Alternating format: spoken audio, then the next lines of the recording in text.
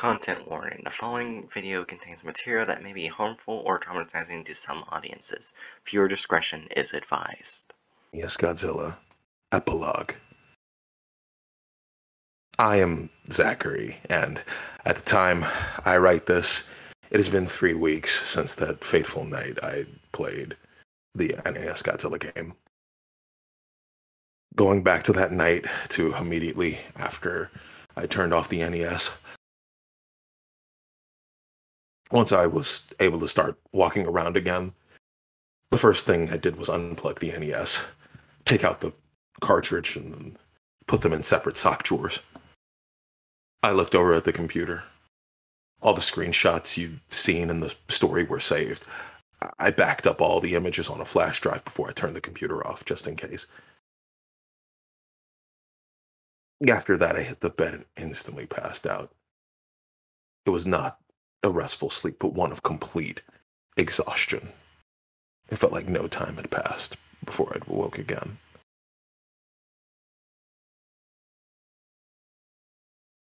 And what a day that was. I first thought, but the first thought I recall coming to mind was, what the hell happened last night? I thought about it for a short while until it occurred to me to contact the person I got the game from to begin with, Billy. So I called him up and told him just to just come over to my apartment, which he did. And I showed him the screenshots and gave him a very basic summary of what happened. At first, he thought I was pulling a joke on him, but he soon realized that, that was not the case. Once it hit him, this was real. He was speechless.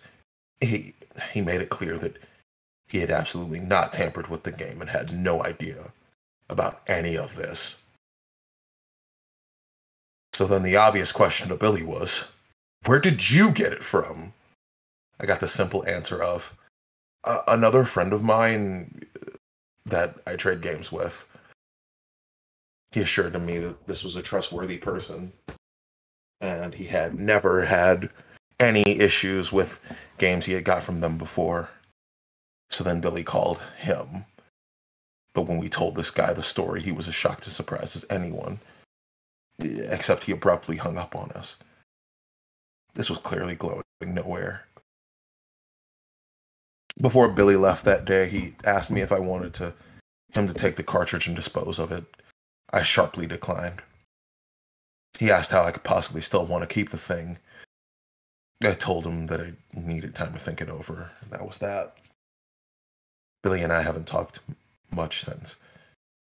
Even though I've told him that this isn't the case, I get the impression that Billy thinks what happened to the, with the game is my his fault. After he left that day, I did a lot of thinking. It was very hard for me to do anything else, really. I couldn't stop thinking about that game. There were so many questions left unanswered what was Red? Was Melissa really in the game? How did she even get there? Why did all this happen with this game? But the question that kept me up for so many nights was Red said he had known me for a long time. How? Ever since then, I can't shake the feeling of being watched. The game made me ask myself questions about death and reality in ways that I never wanted to think about. I'm not too sure of anything anymore. Constantly thinking about it soon began to have a negative impact on my life. I just didn't care about anything else at that point. By comparison, all the other day to day activities just seemed utterly pointless. I eventually decided that I had to choose between one or two things try to play the thing game again or destroy it.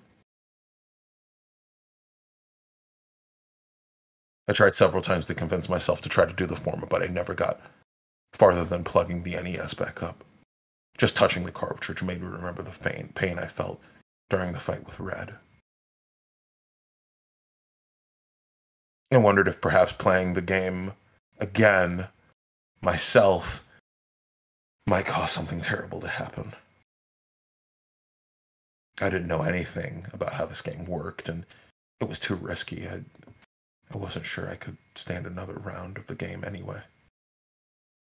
Then it was time to take the other option.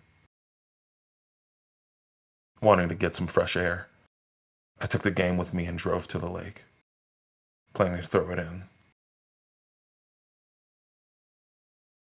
I got up to the lake with the cartridge in my hands, and I looked down on it and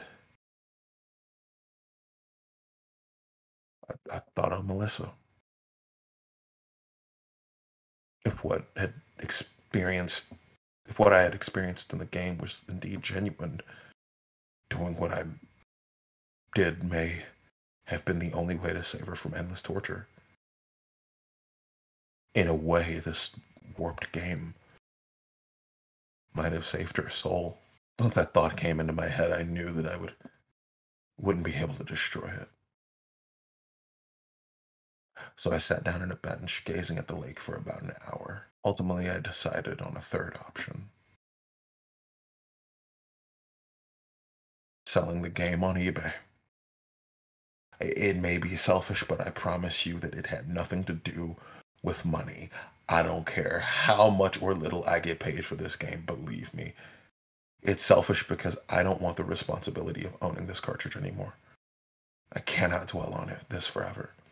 And the only way I can deal with this is by putting the game out of my life. So this brings me to the main reason I created the summary of these events. First is to record the details while I can remember them, and second is that whoever bids on this game knows what they're getting into. I can't guarantee the safety of anyone else who plays this game or that anything will happen, but to the new owner of this game, remember this be careful.